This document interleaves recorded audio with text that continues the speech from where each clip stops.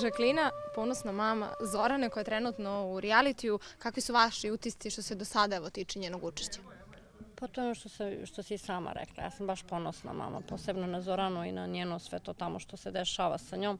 U principu, ja sam znala da Zorana nije ni bila svesna u što ulazi, da je ona ušla kao pevač i da promoviše sebe Saru i Andrijanu na najbolji način, u stvari ono što jesu one.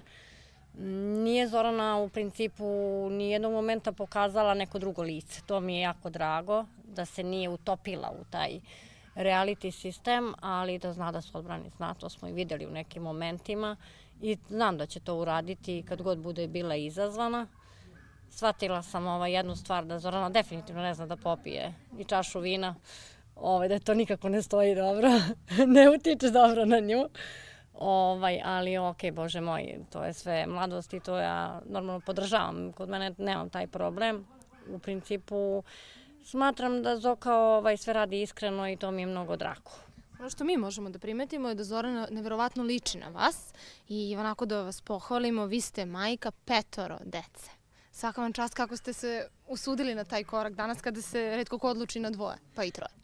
Pa ne znam, ja mislim da u to vreme to nije bilo toliko, ovaj, kad sam ja rodila decu, jesu bile to neke 90. one teške godine, što bi ljudi rekli, a ja sam jedan stariji nađija, ja sam bila jedinica dete bez roditelja, u principu kod bake i deke sam odrasla na ovom dvorištu, to u stvari jeste dvorište koje obožavam, baš zato što su tu živeli nekad baka, deka i ja.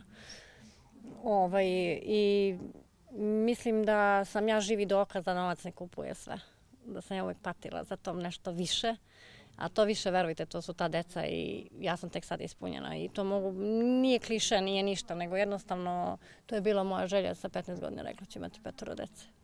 I sa koliko ste rodili prvo dete? Ko je najstariji? Da ih poređemo redom da kažemo kako se zovu. Ovako, Božidar je najstariji, on je 95. godište. Zorana je 96. godište, između njih razlika nekih 19 meseci samo. Bojana je 98. Tijana je 2000. To i Bogdan 2002. Tako da su tri devojčice u sredini, najstariji dečak i najmlađi dečak. Ne znam, ja mislim da je to nešto najveće što sam mogla da dostignem. Mislim da sam dobro uložila u životu. Da sam upravo. Kako je bilo odgajati toliku decu? Kako je bilo odgajati toliku decu? Ste radili vi i vaš suprug? Gde ste živeli? Suprug je radio. Ja nisam radila uopšte. Ja sam baš bila bukvalno mama bila sam domaćica, ali ovaj, igrom slučaja ovaj, ja i deca smo ostali sami, ovaj, tako da sam ih ja sama odgajila. E, to je ono što Zorana kaže, jednom momenta je rekla u emisiji, u realitiju je pomenula, nemamo mi svi uslove u životu da živimo ovako, daj čuvajte ovo što nam je sada ponuđeno, navikavajte se na lep život. U principu ja mogu da kažem da smo mi tek sad počeli da stajemo na noge. Ove dve čerkice su u Nemačkoj, dobro napreduju, Boži da radi tamo. Zoka, eto, i ona kreće svoju neku priču. Ja radim već nekoliko godina, inače, ali kao majka dok su bili mali, to je bilo menjanje poslova. Sama sam ih odgajila i Zorana odlično zna šta znači, šta znači biti princeza, šta znači biti i prosjek. I mi to ne krijemo, ja sam ponosna na to. Ja mislim da su zato moja deca baš takva kakva su i da sam ja baš takva kakva sam, ali ja ne bi se održala da nisam ovakva. Ja sam bukvalno sve sa osmehom prihvatam i to je meni ono skroz ok. Znači, ne znam, ja u principu znam koliko ih volim i šta mogu sve da uradim za njih. A kako se Zorana odlučila da ostane ovde sa vama i da ne ode u inostranstvo kod oca, kao što su to uradile i sestre? Uh, Jeco, ti kažem nešto, ovaj, njih dve su otišle e, čisto zato što je tad moglo tako, ta dva mlađa deteta su mogla da odu zbog papira tamo. E, jednostavno on je mogao samo njima dvema da upriliči to, ali meni je bilo, ajde samo dvoje neka odu, pa će kasnije oni da se vuku, razumeš kako to ide. Međutim, ovaj, Tako da su one tamo završile školu i sve to, ali mi se redovno posećujemo, ja odlazim tamo, one dolaze ovde, mnogo su vezane. Mislim, oni su svi ono jedni sa drugima, ma gde da su, oni se nenormalno vole. Znači... Ja znaju međusobno onako se raspravljaju možda ko je tatina mezimica, ko je mamin mezimac možda, za koga ste negde vi najviše vezani, za koga je Zorana najviše vezana? Pa ja mogu da potvrdim da je Zorana maksimalno vezana za mene ali i mogu da potvrdim da su svi vezani samo za mene. Jer oni su samo mene i znali kao roditelja i ovaj, jednostavno ja ponosna sam na to što je tako sa njihove strane. Volela bi možda na neki način da to, znaš, sama šta mislim da je bilo to drugačije, ali e, ponosna sam na to što smo uspeli. Što jeste bilo ono teško, baš je bilo ono, ali sad mi je super. Zorana je dosta vezana za mene. Zorana je m, u principu neko ko je svakog momenta i kada je daleko, ona, barem samo, ako ništa, samo da me čuje. Jer ja sam se prema njima postavila kao drug, ne kao tipična mama. I onda oni sa mnom mogu da, mogu da balansiraju. Ja sam im rekla kad da branite svoj stav morate čak i meni da kažete kad, ni, kad nisam u pravu. Jer sukob generacije je najgora stvar ako gajaš dete. Tako da sam se ja postavila više kao neko ko hoće od njih da napravi jake ljude, a ne da me drže u suknju. To meni se ne bi svidelo da budu baš ono totalno uz mene, nego čisto da grade svoje živote. Ja sam tu negde, ja sam tu uvek. I kad, kada je Zorana onako došla i rekla mama ja želim da se bavim pevanjem, od toga mogu lepo i da zarađujem, ste se dvoumili kao roditelj da li trebaš čerku usmeriti na školovanje ili ste negde i želeli možda zbog vaše situacije da Zorana i svako od njih što pre postane svoj čovek, a svoj čovek je onog trenutka kad ima svoj dinar u džepu? ja sam bila protiv toga. Ja sam nekako bila protiv toga. Mislim, ne mislim ono baš. Nego ona je dotrčala na dan i rekla, e mama ja, ja idem u na audiciju za Pinkove zvezde, a to, ali eto ja nešto se razmišljam o svemu tome. I ona je počela i pre toga da pevam. Ali ok, radila je tu sa osobom koju mi poznajemo privatno i imaš poverenja u nekoga normalno. I to je bilo super, mislim što kaže svaki doprinos sa Zoranine strane je bio ok, ali opet to povlačilo je i dosta briga. Ja radim na poslu, razmišljam ona stalno, to je uveče, već se menja dan za noć. Ali u principu to sa Pinkovim zvezdama kod Zorana je baš ispalo onako slučajno. Tako da je to krenula ta lavina. Trebalo mi je dobro dva meseca da se ja prvo trgnem da znam u čemu smo i šta je sve to. Ali sad mogu da kažem da sam ponosna na to. A se sećate možda od nekog prvog ozbiljnijeg honorara Šta je kupila? Je od onih koja hajde da potrošimo sve ili su obzirom, eto, obzirom na to ste rekli da, i, da je bilo trenutka kad niste imali, Je li onako stavila novac na sto i rekla se dogovorite šta ćete svi da kupite ili... E, ja sam malo pre rekla fotografu, kod mene vlada demokratija. Ja prvo volim da potroše na sebe sve ono što nisu mogli nekad. I tako da se dešavalo da Zorana potroši pare sa drugaricama u gradu, sve što je zaradila. Ali isto tako kad ja kažem nemam dovoljno za nešto, Zorana je uvek tu i znači i za račune i za bilo šta. I ona je u tom, do duše nikad nije bilo ono da meni nije dala novac znači ako mi je potreban. Znači isto tako ako je njoj potreban traži, to je isto. Mi tako funkcionišemo, znači nemamo problem čiji je novac. Jednostavno tako funkcioniše. Vi trenutno živite u ovoj kući, a imali ste pre poplava drugu kuću, je li tako? Isto u blizini? Živeli smo u Gaju nekad gore. Ovaj, I onda smo došli ovde, ali smo došli mnogo pre poplave. To je bila naša porodična kuća, gde smo živeli sa njihovim ocem ali posle razvoda ja i deca smo otišli odatle i došli smo ovde. Kako je Zorana podnala razvod? Super. To je bilo dečija želja. Oni su to želeli? Da, Zorana od svoje šeste godine nema kontakt sa svojim ocem.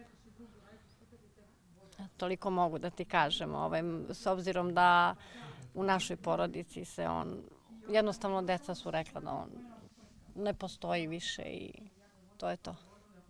Zorana ide onda u inostranstvo kod svojih sestara, jel? Pa ona planira.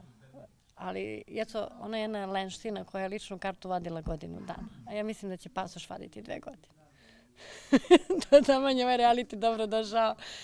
Šalim se, Boka je dobila stan prošle godine od Nemaca ovaj svoj stan. Sad je na praksi do juna meseca u toj bolnici i počinje da radi u junu mesecu kao bolničarka u Minhenu. Tića je još uvek u internatu, ona isto ide, školuje se.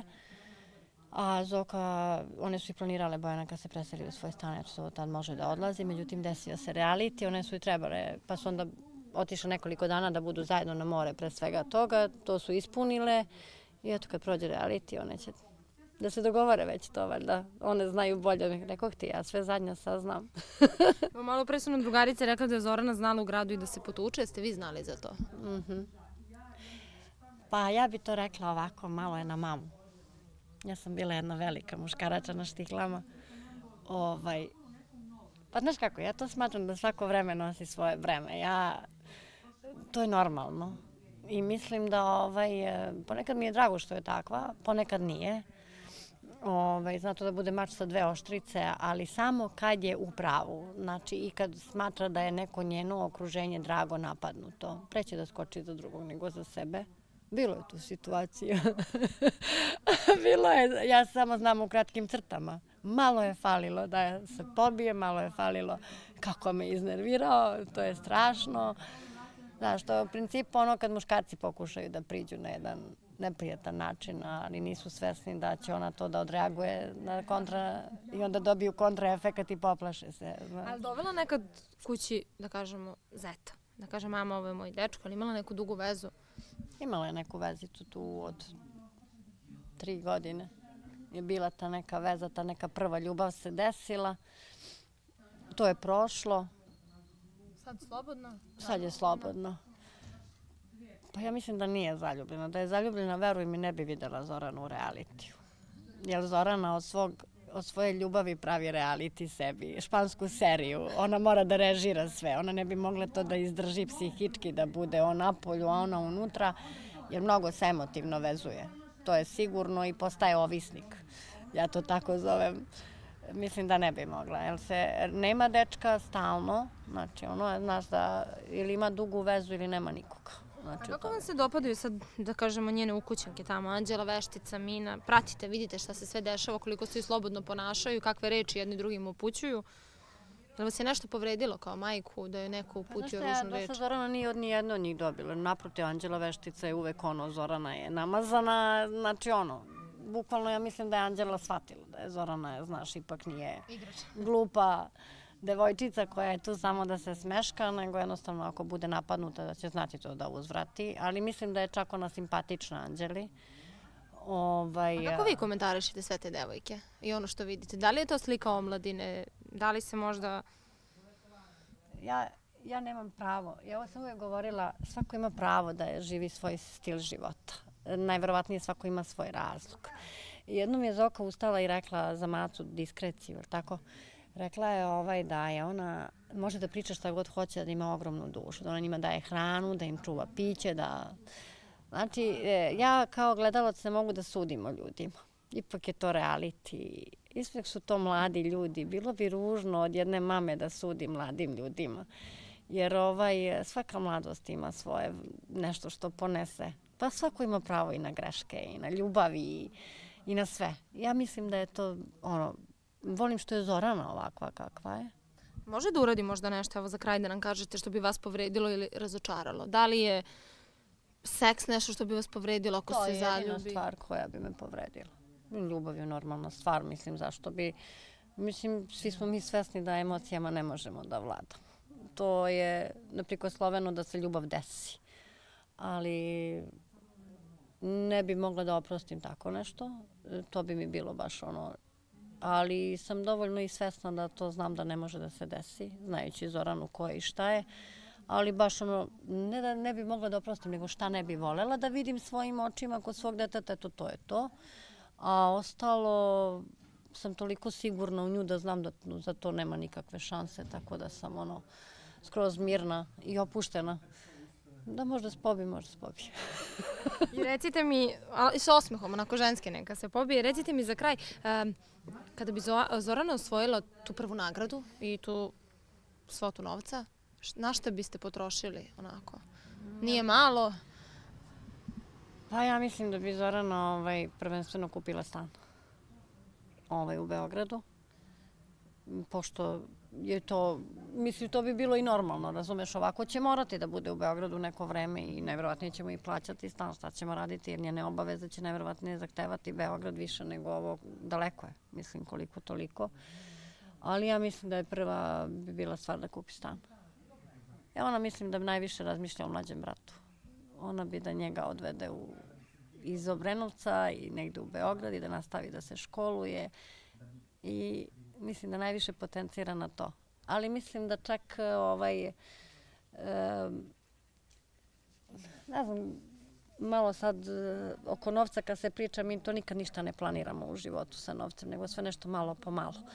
Ovaj, ali najviše bi u Bogdana uložila i tako nešto krović nad glavom neki svoj da ima. Mislim da bi je to bilo pretežno. Ali mislim da ne, ne razmišlja mnogo o glavnoj nagradi. Da se sprta.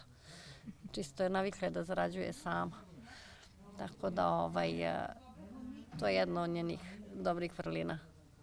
Nije puno, uvek mnogo. Hvala vam na ovom razgovoru i na gostoprimstvu. Hvala tebi, Jeca. Hvala vama puno.